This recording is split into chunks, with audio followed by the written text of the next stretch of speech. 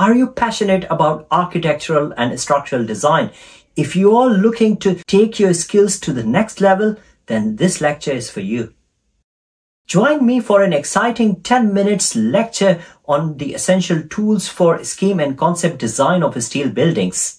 From structural framing and load path to loading and initial member sizing, we will deep dive into the techniques that professionals use to bring their vision to life.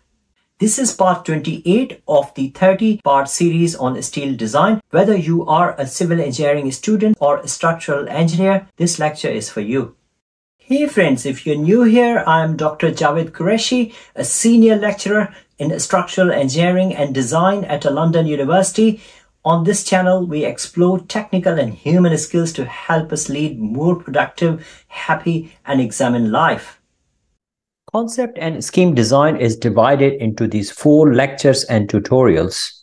Tools for Concept Design is the second lecture in series of Concept and Scheme Design. In this lecture, I will talk about two things, tools for concept design and tools for scheme design. I'm going to talk about what does it mean by concept design? And what are the tools available for concept design? How do you say that okay these things are related to concept design? And i have divided them into itemized headings so that it becomes easier for you to understand what is required in concept design. The tools for conceptual design. So what do we do for conceptual design? So so initially my first step will be structural grid, which means that if a plot is given to me, so if this is the plot, if this is 30 meter, if this is 40 meter, how do I decide where to put my columns and how do I decide about beams? So how do I decide the position of columns? So normally the first thing to start with is to start at the corners of the plot and then spacing of these columns depending on the constraints and where are my core positions. Your cores could be your lift core as well. So it could be L-shaped shear wall which is around your lift. So where do you position that? So floor framing, what kind of slab you're going to use, what kind of beams you're going to use and where you're going to use your bracing. So this is what we decide in framing as well. Then load paths, gravity and lateral load paths are decided in concept design as well. And then material specification, what steel grade you're going to use, what material properties you're going to use. And I'm going to cover these things step by step. The fifth step will be initial sizing of steel elements. And how do we do it? Now we do this based on span to depth ratios and these span to depth ratios are developed based on previous case studies based on rule of thumb. So they are not the definite things, they are rule of thumb. They have been used by various designers, various engineers and we benefit from them. In this all concept design, the role of design code like Eurocode 3 or 4 is really minimal. It is just about understanding how a building works and how loads are transferred and how do we work out loading and how do we carry out initial sizing. The key element in concept and scheme design is structural engineer's pocket book. Make this book your friend. It will give you pretty much anything about structural engineering. It will give you load to span ratios. Uh, this is going to be very useful. It will give you kind of initial thoughts about how do we carry out small calculations. Have a look at this book, Structural Engineer's Pocket Book. It's extremely useful. And I will be referring to this book quite often in my presentation. For framing, we use either composite slabs and the depth is normally between 130 to 150 millimeter. Typically, they are fine for 3 to 4 meter span. This is the spacing between secondary beams. If you have this grid, so this is spacing between your secondary beams. If this spacing is say 3 meter to 4 meter, normally these composite slabs are fine.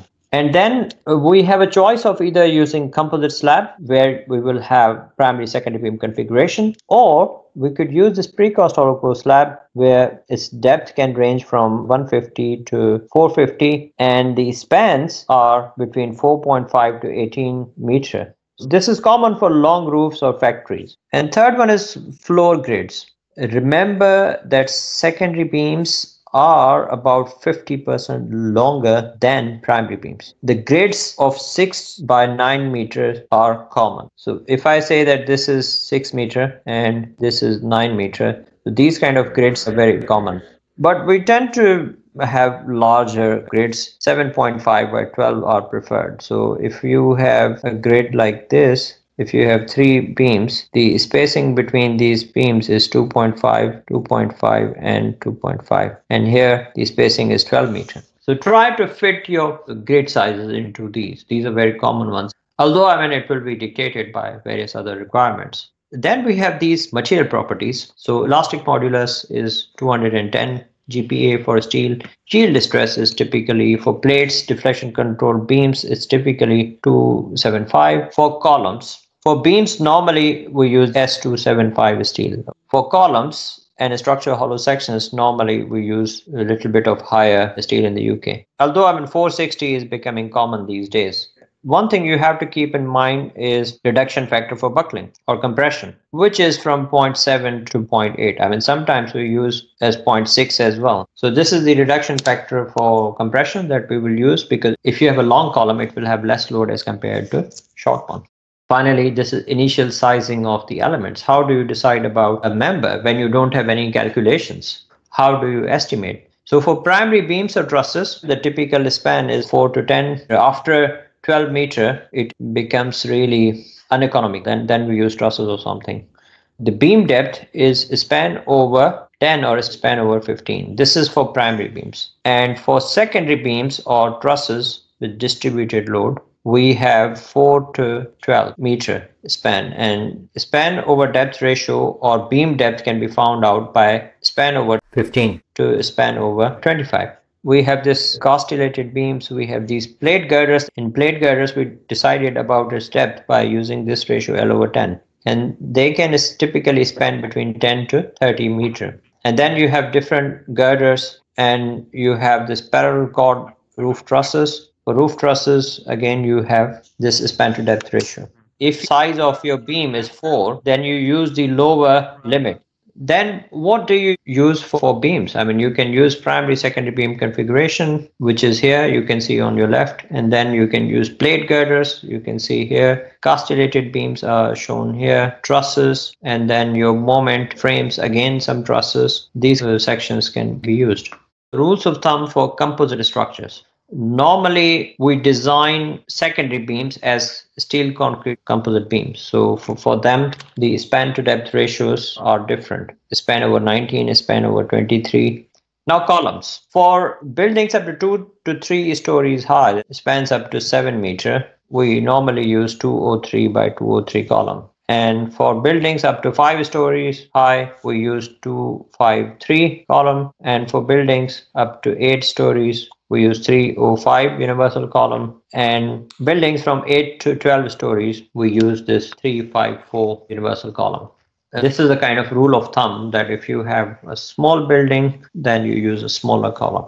Again this rule of thumb it comes from this structural engineers pocket book which does not follow any eurocode to be honest. They say eurocodes but these provisions are generic. So uh, tools for schematic design there are six steps for scheme design, and I would like you to focus on these things. First is loading. How do you establish loading? Now, you saw that in concept design, it was about establishing the size and position of columns and beams based on span to depth ratio. So, if I define concept design in a word, then I would say I would establish the beams and column size based on span to depth ratio. So, this is concept design. In scheme design, we go a little further. We work out loading. In concept design, we did not work out loading. In scheme design, we work out loads. So we work out floor loads, we work out finishes, we work out fire rating. And then we decide about slabs, what kind of slab you're going to use, either composite or precast hollow core slab. And then we decide about beams as well. Are you going to use primary secondary beam configuration or main entire beam configuration? And fourth, we decide about the column. We choose one critical column, which is taking most load. Then other members as well. We decide about trusses and bracing. And other consideration like opening and beams, connection, detailing, fire, and other, other things. So these all are decided in scheme design. So the first step is loading. So we have to establish floor loads based on use. So if it is office, normally we take 2.5 kilonewton per meter square And then we make adequate estimates about the finishes. So 1 to 2 kilonewton per meter square. And then we establish the fire rating for building regulations. They are different in different countries. In the UK, it is approved document B. So from here, for offices using these categories, again, this has been taken from structural engineer's pocketbook. Now here we can establish fire rating. Typically, it is between 60 to 90 minutes for low and medium rise buildings.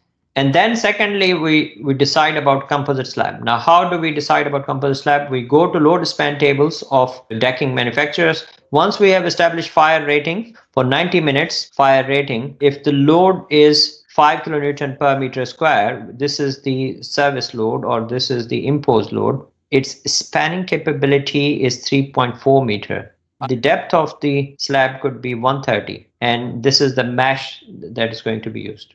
And same is the case with hollow core slabs. If the load that is coming on my slab is 4 kilonewton per meter square, then if the span which I have is 9, I can say that I can use this 250 millimeter deep hollow core slab, which has spanning capability of 9.93 meter.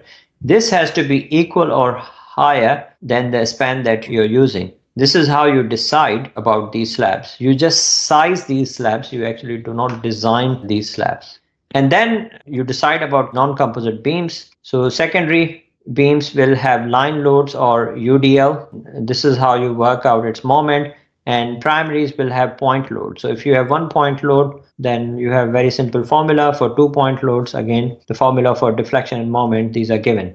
And third step is non-composite uh, beams. If you're deciding to use beams as non-composite for secondary beams, if you have this formula over here, make I as your uh, subject in this deflection equation and then find out I. Obviously, other things are already known. Length is known, load is known, and E is known as well. Maximum deflection you can assume span over 360. Then you can work out I from there. So once you have got I, then go to Tata Steel Blue Book, then find out the one which can have this kind of I.